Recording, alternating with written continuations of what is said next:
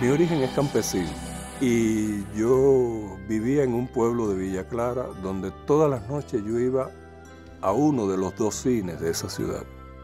Cuando yo veía los dibujos animados, cubanos o no, y yo tenía esa inclinación de dibujar, yo siempre quise hacer eso.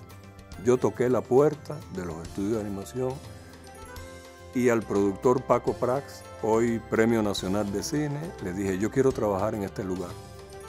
Yo creo que volvería a repetir lo mismo. Volvería a trabajar en los estudios de animación y volvería a vincularme al sistema de producción.